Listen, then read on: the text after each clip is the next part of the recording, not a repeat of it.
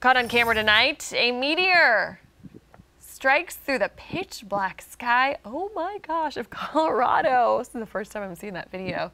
Uh, the meteor came down about 4.30 in the morning. A member of the Colorado Springs Astronomical Society says the meteor could be from one that broke up from a comet trail or it could have come from an asteroid belt, but that thing was huge.